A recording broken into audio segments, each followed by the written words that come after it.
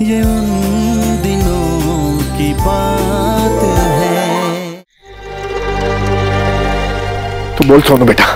तू बोल सोनू बेटा किसने धोखा दिया तुझे? आज मैं सच में काकू सा की कसम मैं आज उसकी पत्थर रगड़ दूँगा। तू बोल तू। अरे तो काका मैं कह रहा हूँ संभालो इसे वरना मेरा हाथ उठ जाएगा इसमें। फिर तुम लोग कहोगे सौतेले बाप ने थप्पड़ मार दिया। क्या कहा आपने? सौतेला बाप। बार बार बताने की ज़रूरत नहीं है। मुझे अच्छी तरह पता है कि आप मेरे सौतेले बाप हो। और रही बात थप्पड़ की वो तो ना आप कभी मार पाए हो ना आज मारोगे और ना कभी आगे। आपने मेरी मम्मी को भर के लाया चले जाइए यहाँ से पूरा दरवाज़ा। तुम मुझे जाने को कह रहे हो? सिर्फ़ आपको नहीं आपको आपको आपको। सब निकल जाइए यहाँ से।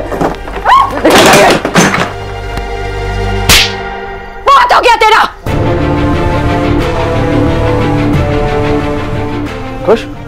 सबको सिर्फ़ थप्पड़ मारना आता है। यहाँ आपको और वहाँ नैना के पापा को। लेकिन सिर्फ़ एक नैना है। सिर्फ़ एक नैना जो मेरे आँसू पूछना जानती है। उसको भी आप लोगों ने छीन लिया मुझसे। क्यों?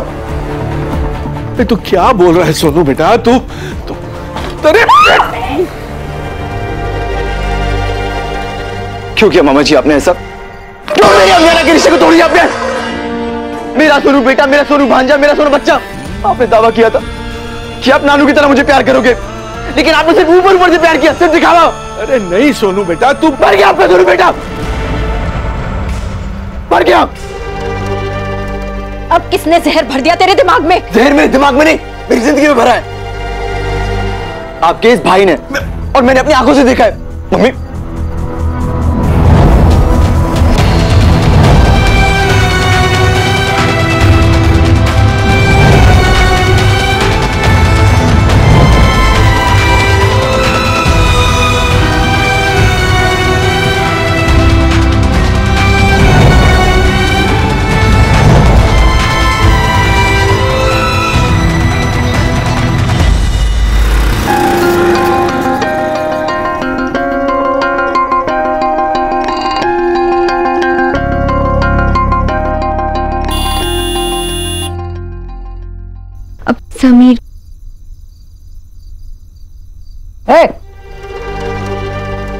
ताई जी वो शायद नीचे समीर की गाड़ी आई है इसीलिए ओ भाई यहाँ पूरे अग्रवाल खानदान का मुँह काला हो गया और इसे समीर की गाड़ी दिखाई दे रही है। चुपचाप खड़ी रहे कोई नहीं आने वाला है। आपको कैसे पता?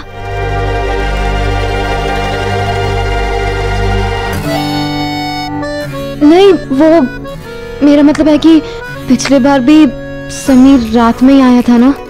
अपनी फैमिली के साथ? वो रात भी गुजर गई और वो बात भी गुजर गई। कुतुब मीनार से भी ऊँची है उनकी नाक रगड़ेंगे नहीं हमारे सामने।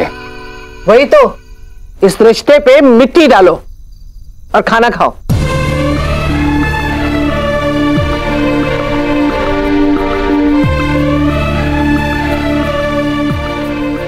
आनंद खाना शुरू करो।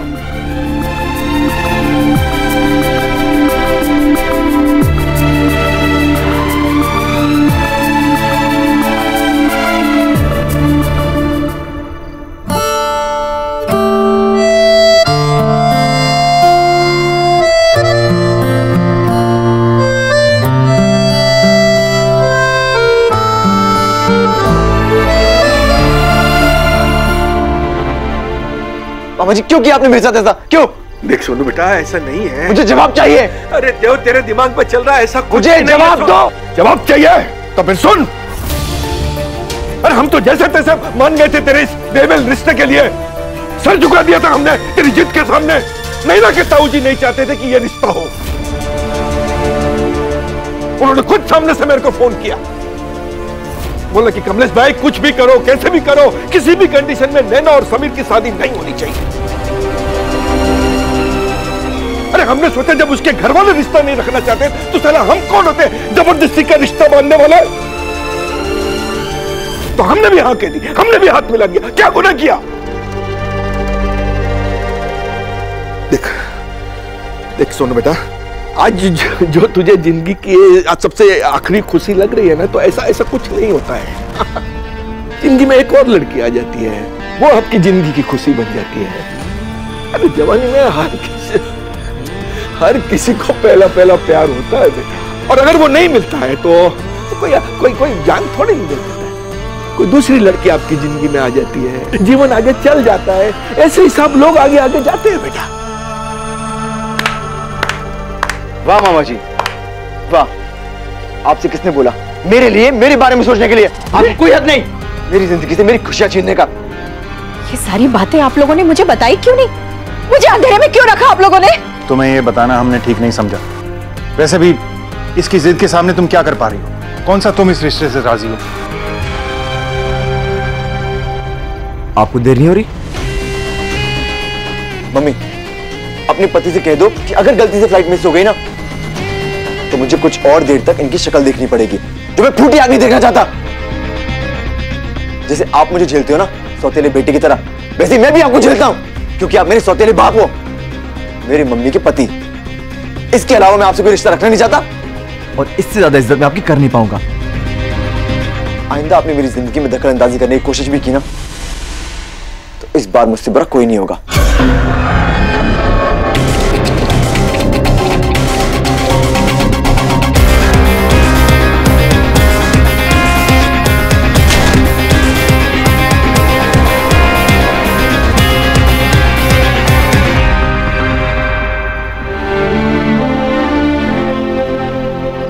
प्रीति के पापा ये सब चढ़ाया था उन्होंने। ये सब ही आने दो। सुबह सब कुछ वापस लौटा देंगे। जी। भगवान झूठ ना बुलाए बेटा। अंगूठी दे दे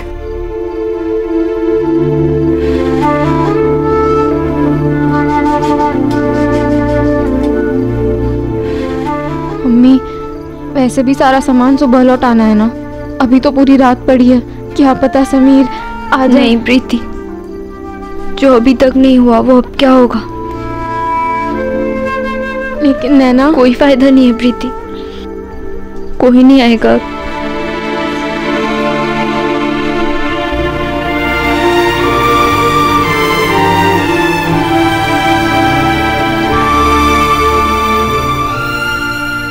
नैना बेटा तेरी खुशी के लिए मैं दुनिया में किसी के सामने भी अपना नाक कर सकता हूँ।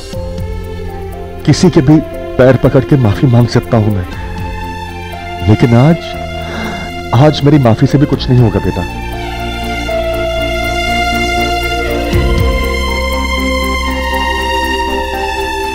नैना अंगूठी दे बेटा।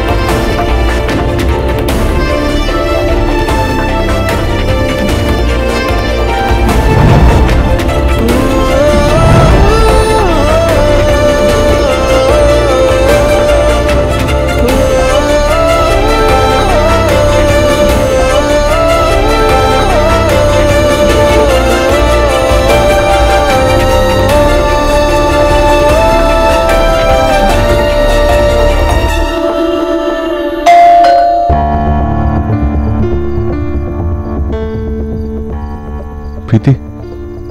देखो कौन है।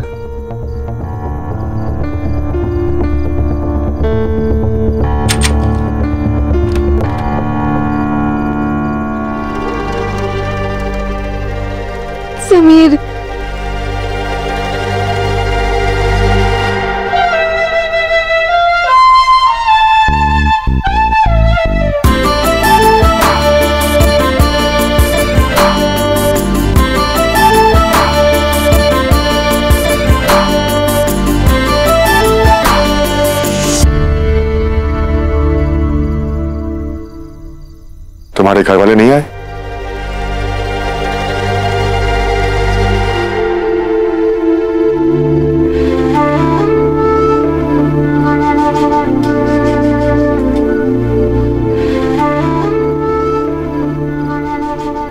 तुम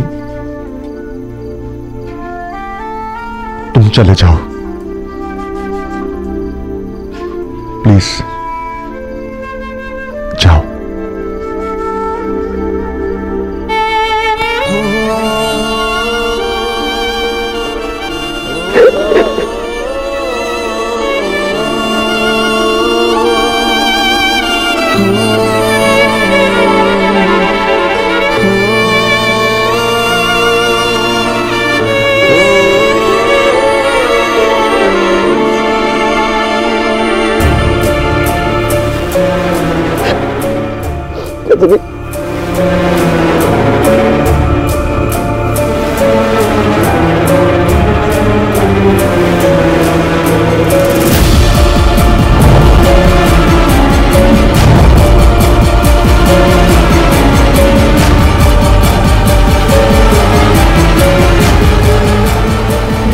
सगाई टूट गई सब ठीक हो गया। है नहीं? है नहीं?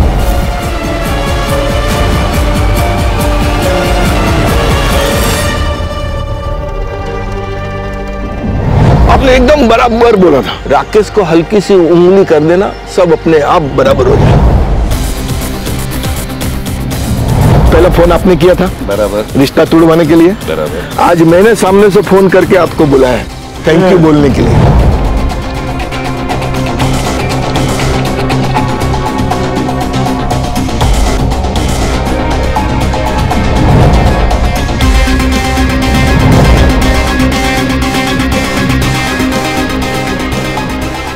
चाचा जी मैं सच कह रहा हूँ मैंने खुद खुद अपने कानों से सुना है।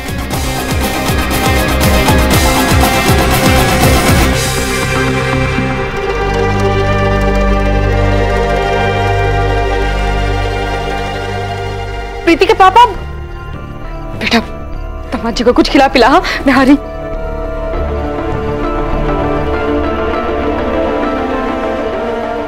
आपको इस घर के सिर्फ़ समझा नहीं था। दिल से माना भी था लेकिन आपने इतनी छोटी हरकत कर दी। मैंने जो कुछ भी किया है नैना की भलाई के लिए किया है। झूठ बोल रहे हैं आप झूठ बोल रहे हैं। ओ भाई ये कोई तरीका है बात करने का? बड़े भाई से ऐसे बात की जाती है? अब यही तरीका भाभी जी। इन्होंने बहुत बड़ा बड़ापन कर दिया। घर की छोटी बच्ची की खुशियों के साथ इतना बड़ा खिलवाड़ किया है। छी जो काम दुश्मन भी नहीं करता वो आपने किया आज। आनंद बाबू ये मालूम बीना है ना कि- बीना बीना एक मिनट। सुनना चाहते हो? समीर के मामा मेरे पास आए थे कचहरी में। हाथ जोड़ के विनती की उन्होंने मुझसे कि आपकी बेटी नैना हम लोगों को बिल्कुल पसंद नहीं है। चाहे जैसे भी हो आप ये रिश्ता तोड़वा दो वरना हम आपकी बेटी को अपने घर में खुश नहीं रहने देंगे। तुम ही बोलो। बोलो तुम्हें मैं क्या करता? अपनी बच्ची को उस घर में बहू बनाकर भेजता जहाँ उसकी न मान होती न इज़्ज़त होती। बोलो? झूठ बोल रहे हैं आप। वो आपके पास नहीं आए थे। बल्कि आपने उन्हें फ़ोन किया था कचहरी में मिलने के लिए। आप नहीं चाहते थे यह रिश्ता हो। समीर के घर वाले शादी से खुश नहीं है। उसकी मेरी ज़िम्मेदारी नहीं है। लेकिन अगर मेरे घर वाले इस शादी को तोड़ने की कोशिश करेंगे तो ये मेरी ज़िम्मेदारी है। सबके पीठ के पीछे आपने जो एक घिनौना काम किया ना। जबान को लगाम दो आनंद। बोल रहे हो कि तुम किससे बात कर रहे हो? मैं अच्छी तरह जानता हूँ मैं किससे बात कर रहा हूँ। मैं ऐसे इंसान से बात कर रहा हूँ जिसने अपनी झूठी इज़्ज़त के आगे अपनी बच्ची की खुशी का गला घोट दिया। मैं ऐसे आदमी से बात कर रहा हूँ, जिसके दिल में कुछ और है और सुबह पे कुछ और है। मैं ऐसे इंसान से बात कर रहा हूँ, जिसे अपनी बच्ची की खुशियों से जलन हो रही है।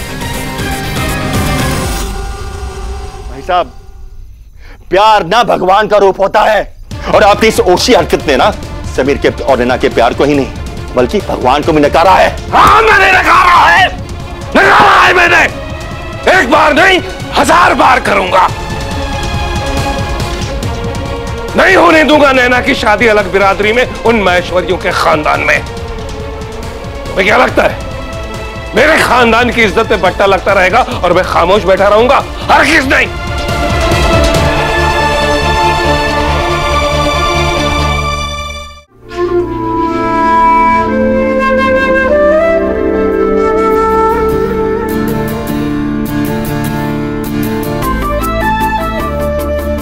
रुमाल यहाँ है किचन वहाँ है।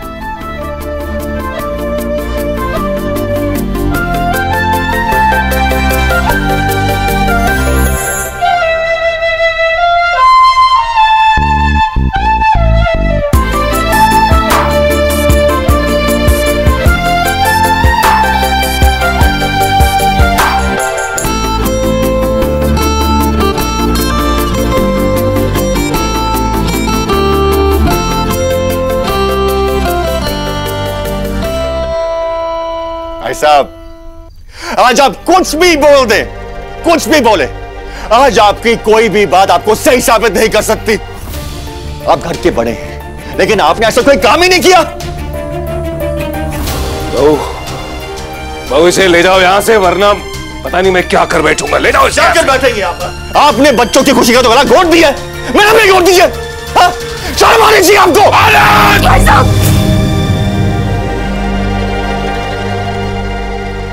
भगवान झूठ ना बुलाए भाई साहब। नैना, हम सबकी बच्ची है। हम सबकी ज़िम्मेदारी है। हमें हमें सब कुछ बुला के, नैना के भले के बारे में सोचना चाहिए। वरना नैना की स्वर्गीय माँ रमा भाभी की आत्मा को बहुत दुख होगा। शायद शायद ये रमा भाभी का ही आशीर्वाद है, जो नैना को इतना अच्छा लड़का मिला है। भाई साहब, हमारे लिए नहीं, रमा भाभी के लिए सही हम सबको धूमधाम से नैना और समीर की शादी करानी चाहिए। ओ भाई ए नाटक मंडली ये घर वाले आँसू कहीं और जाके बहाना। एक बात अच्छी तरह समझ लो बहू। मैं अपने खानदान की इज़्ज़त खराब नहीं होने दूँगा। फिर चाहे तुम्हें दुख हो तुम्हारी नैना को दुख हो या रमा भाभी की आत्मा को दुख हो। ये रिश्ता ना तो मुझे कल मंजूर था ना आज है और ना भविष्य में कभी होगा। ऐसा मत कहिए ना भाई साहब। मैं मैं आपके सामने झोली फैला के अपनी बच्ची की खुशी की भीख मांगती हूँ, भाई साहब। भाभी जी, मैं आपसे अपने बच्ची की खुशी की भीख मांगती हूँ। मेरे बच्ची के लिए मान जाइए आप लोग। मेरे बच्ची की खुशी के लिए मान जाइए, मैं झोली फैला के भीख मांगती हूँ आप लोगों से। मेरी बच्ची की खुशी के लिए मान जाइए।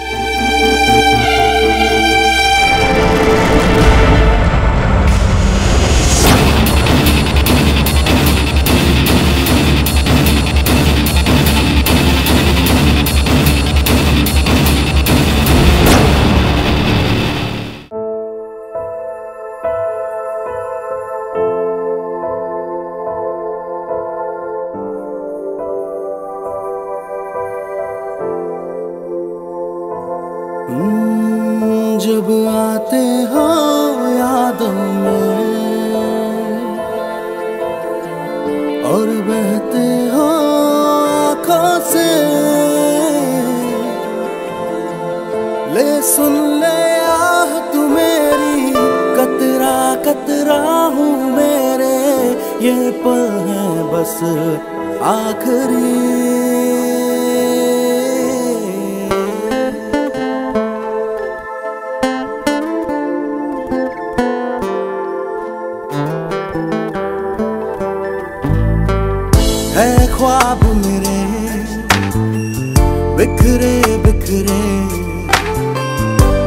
आज ही